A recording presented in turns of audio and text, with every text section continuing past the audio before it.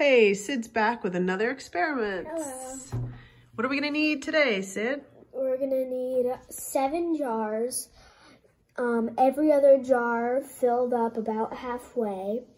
We're gonna need food coloring, blue, yellow, and red. And you're gonna need six paper towels Okay, and some scissors.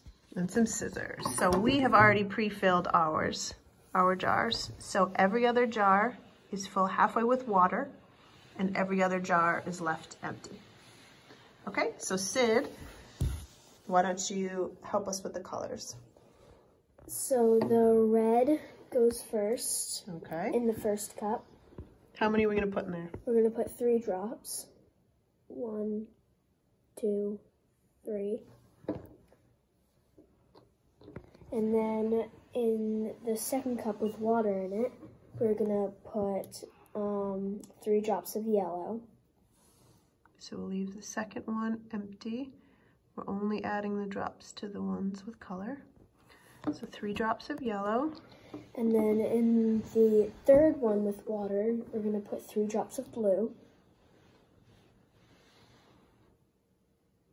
Like this. Two, three.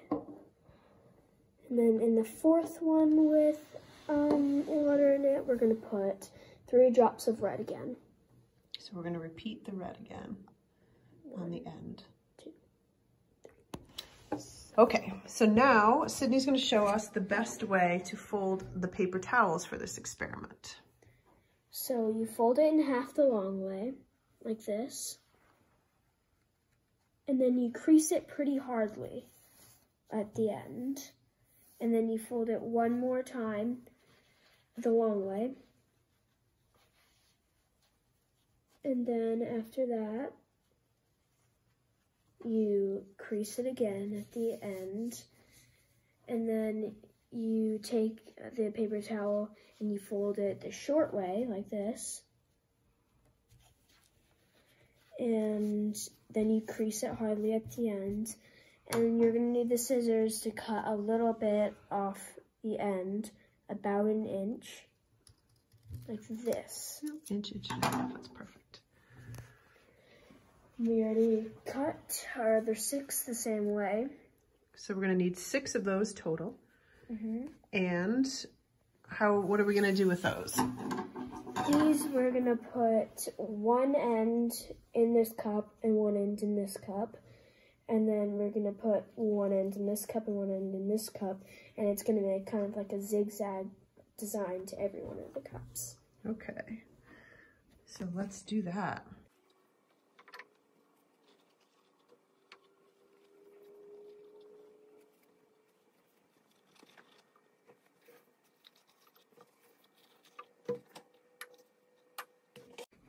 Okay, so what happened, Sid? Um, each, every other cup, their colors came out through the paper towel and mixed in a jar that didn't have anything. So the jars that didn't have anything anymore are now filled exactly the same level as, As all the as all the rest. Um, so what did the red and yellow make? Orange and the yellow and blue made green, and the blue and red made purple. Made purple. So we have a perfect rainbow. So we needed that extra red to mix with the blue to make the purple. Um, and now we can take those paper towels out.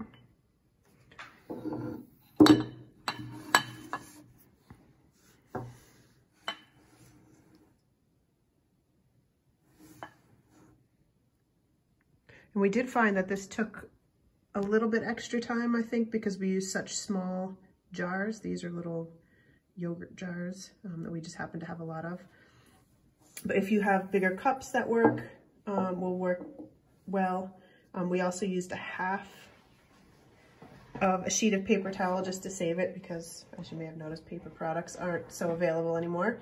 So it did take a little bit longer of a time. So make sure this is something you can set aside and um, and keep an eye on. It's not something that happens instantaneously. It's going to take take a bit of time.